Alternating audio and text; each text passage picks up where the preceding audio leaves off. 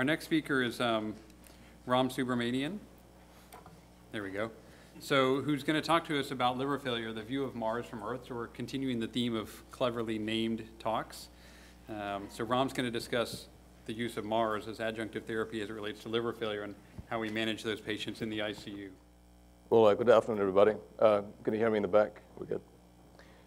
Um, I want to thank the organizers for inviting me today. So we're talking about um, there's something called MARS. So just to decode the title a bit more, MARS is a acronym for a extracorporeal liver support system that we are currently using at Emory. So the topic is actually going to deal with our current understanding and advancements in the use of extracorporeal liver support in the treatment of uh, liver failure. So just as disclosures, I, I am a consultant for a couple of companies that are involved in uh, extracorporeal liver assist devices. So I'll start with a case, and this is a case from the, uh, from one of our ICUs approximately two years ago. It's a 40-year-old lady with uh, no significant past medical history. She showed up in an outside emergency room with a two-day history of worsening uh, jaundice and fatigue. Here initial labs, she's got an INR of two and a half. She's got a transaminitis.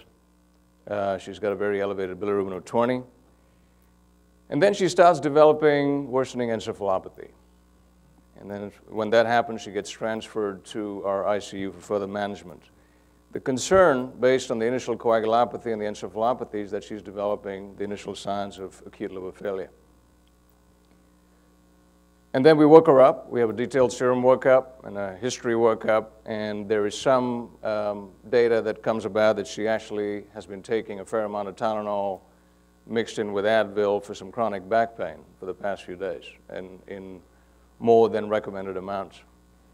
And so she's given a presumptive diagnosis of drug-induced uh, acute liver failure. And then the dreaded complication or the concern uh, that we all, uh, in these patients that we're concerned about, is she starts developing worsening confusion, worsening encephalopathy. And she requires intubation for, uh, for worsening, for airway protection for worsening encephalopathy.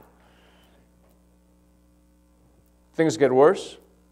Her INR now goes from two and a half to 10 and eventually unmeasurable. And this is happening in the face of a decreasing transaminitis. So she's actually losing liver to even necrose, and the INR is, is off the charts. And then the, one of the last uh, sort of complications that you see in these patients, she starts developing severe hypoglycemia, which is one of the last things to go, and she starts requiring a D10 drip to maintain a viable serum glucose.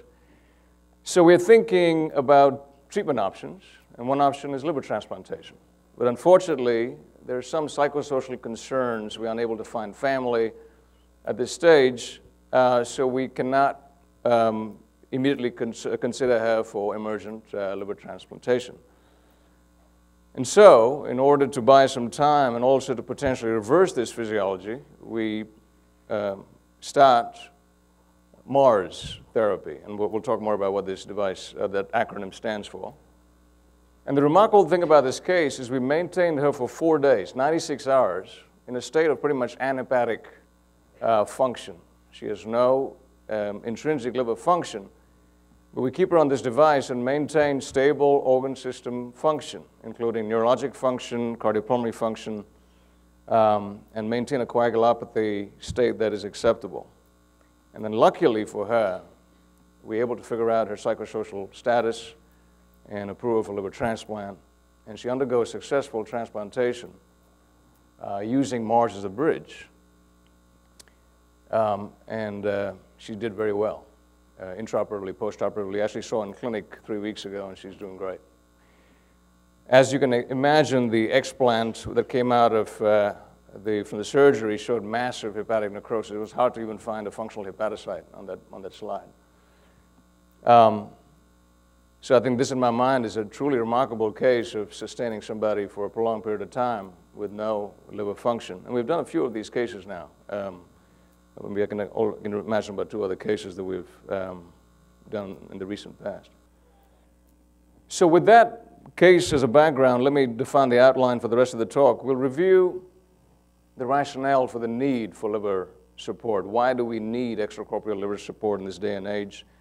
We'll briefly touch on the two forms of liver failure, how we classify liver failure, because I think it'll be important to revisit that as we define the role of these extracorporeal liver devices in, in liver failure. Um, we'll talk about this MARS system um, that, uh, that you saw in the title, and then a few thoughts about future applications. Where is this field headed um, based on the current uh, evidence? So let's talk about rationale. Why do we need a liver support system? So this is data from the federal database, the UNOS database uh, that tracks transplants, and this is in 2014. So the number of people awaiting transplants, or the recipients, or the potential recipients of 120,000. When you look at the number of donors in the registry, it is uh, tremendously lower than the number of recipients. It's almost tenfold lower. It's about 12,000 or 13,000. So because of this enormous discrepancy between the potential recipients and the potential donors, you have a lot of folks dying on the wait list. And it's estimated that about 20 wait list recipients per day are dying on the wait list because of lack of organs. And this is for all organs. And if you would extrapolate this data to liver failure patients, you can anticipate that this mortality rate is even higher in these patients since they're sicker as they await liver transplantation. So there's a problem. So because of this tremendous discrepancy between organ supply and demand, I think we have to actively think about strategies that either A, facilitate hepatic recovery. So if you create a window of opportunity for the, the dysfunctional liver to regenerate, because the liver has one of the unique properties of regenerating, and give enough time for the patient's liver to recover, you can prevent further liver damage and, and facilitate hepatic recovery so they won't need a liver transplant. Or number two, you stabilize liver function, for example, in a cirrhotic who is decompensated to a degree where you can stabilize that hepatic function and bridge them successfully to liver transplantation. So I think as we think about these two strategies in particular, I think this is where there may be an emerging role for an extracorporeal liver support system. So let's talk about the two forms of liver failure. And I would, as we talk about this, um, I would think about how an extracorporeal liver support will fit into these two sp specific forms of liver failure. So the first form, we define it as acute liver failure.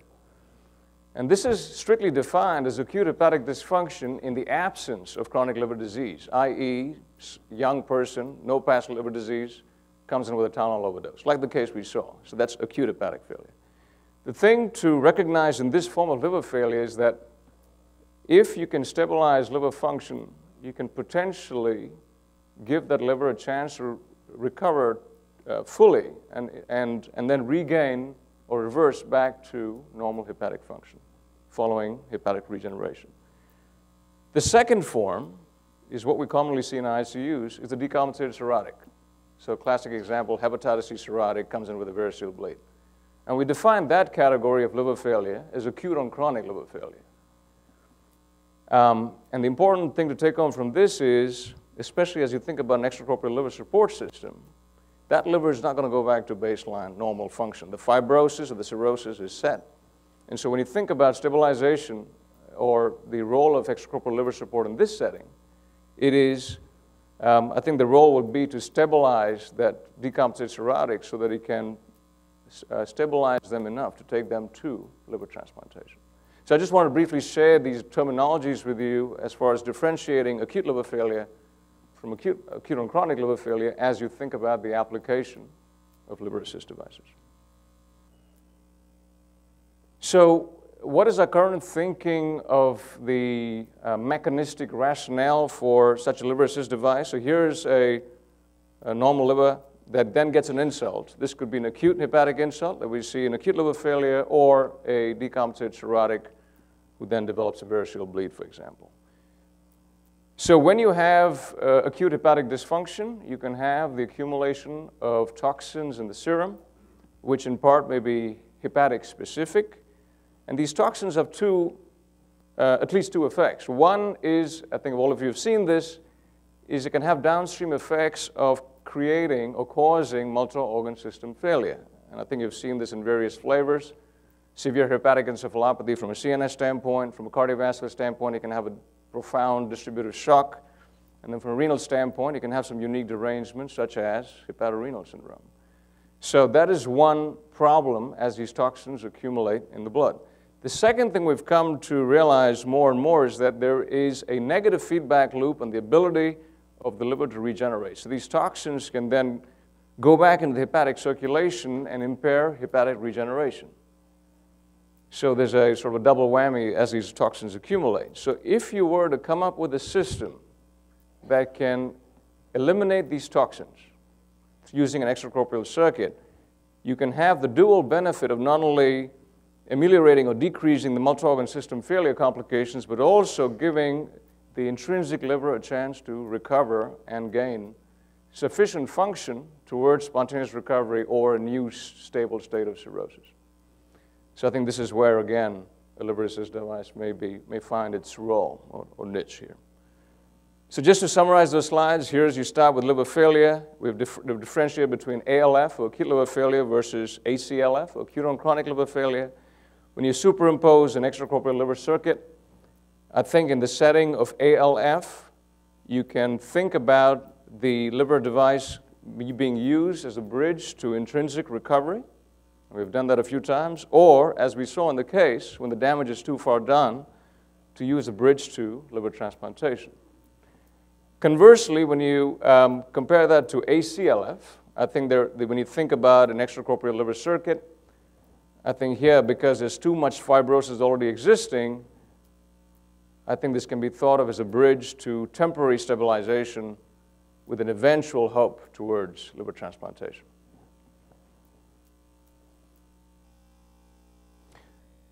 So when you, so let's just sort of switch gears and specifically talk about liver assist devices.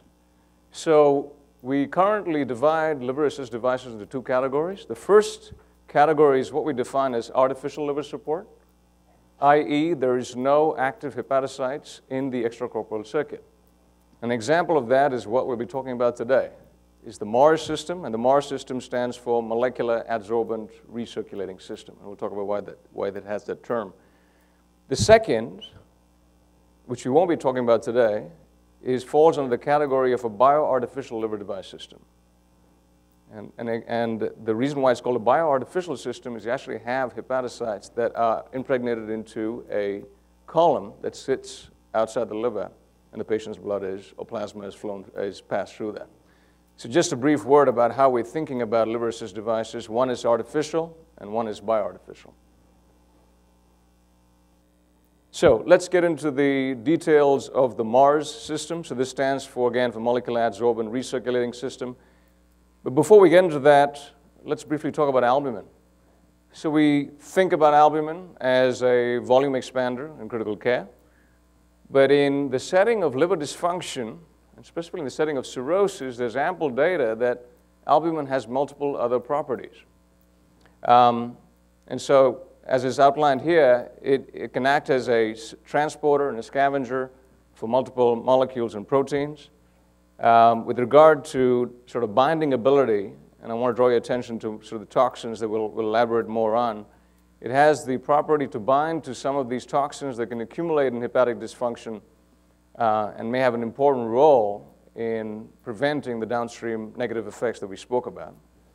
And then finally, there's data emerging that in addition to the quantitative defects that we see in liver dysfunction, so you know the cirrhotic who rolls in with an albumin of one and a half, now we've come to realize that in liver dysfunction or in chronic liver dysfunction, actually the albumin can also have qualitative defects. So some of these binding sites that are that you and I work really well in, in, metab- in binding certain substances may be compromised in chronic liver dysfunction. So there's a qualitative dysfunction in addition to quantitative dysfunction. So that makes the role of a extracorporeal circuit with albumin very, very attractive as you can then correct some of these uh, problems that exist with the intrinsic albumin in liver dysfunction. So this is the MARS system. Um, the, um, sorry, how are we doing time, by the way? We're out. All right, so let me just, can I summarize in two slides? Okay. So just to briefly go, so I, I think I'll just give you two more slides here. So um, this is the uh, dialysis membrane. And I, what I want to do is just in the next couple of slides highlight the difference between this membrane and the CRT membrane. Um, that this membrane is such that in addition to the circular molecules that come across, which are the free, free low molecular weight um, substances such as potassium, BU, and creatinine, that normally come off with CRT, this system allows, because of the pore size, and the second issue is the dialysate is different. It's not a bicarbonate-based dialysate, it's actually an albumin-based dialysate. So in addition to water-soluble toxins, you also have the transfer of these triangular toxins that are specifically albumin-bound, such as bilirubin, free fatty acids, nitric oxide, interestingly, and also some endogenous benzodiazepines that can contribute to hepatic encephalopathy. So that is the essential, one of the, the main differences between, we look at the Mars circuit versus the CRT membrane or CRT circuit, is that because the differential pore size the differential, and the different dialysate, you suddenly create a diffusion gradient for molecules, that, uh, additional molecules that can come off uh, apart from those that come off in CRT. And the last, uh, can, I give, can I do two more slides? Yeah. So on the right side are the water-soluble toxins. So examples of this are BUN, creatinine. Here's a whole list of other molecules that are specifically albumin-bound that can now, can now come off in the Mars circuit. And examples of these are benzodiazepines, and I think that is why we're seeing a lot of efficacy in refractory hepatic encephalopathy. Um, bilirubin comes off excellently with the Mars circuit. CRT will not remove bilirubin. Um, and finally, nitric oxide can also efficiently come off with this. And that may be the reason why we are seeing some hemodynamic benefits from the Mars circuit. The last slide, this is CRT, single membrane. And you, I think you're all familiar with this. This is the Mars membrane that we have in, in function. So here is the Mars membrane with an albumin dialysate that extracts the patient's toxins. And just the important thing to note is this albumin dialysate has a combination not only of water-soluble toxins, but also those albumin-bound toxins that we spoke about. So you're increasing your clearance of toxins that specifically accumulate in hepatic failure. And then these toxins get sequentially cleansed by a CRT machine first that gets rid of the water-soluble toxins, and then finally the, the albumin toxins get uh, eliminated by sequential removal by charcoal and then an ion exchange column. So that, in a nutshell, is the difference between the circuit when you compare CRT versus the Mars circuit. I'll stop right there. Thank you for your attention.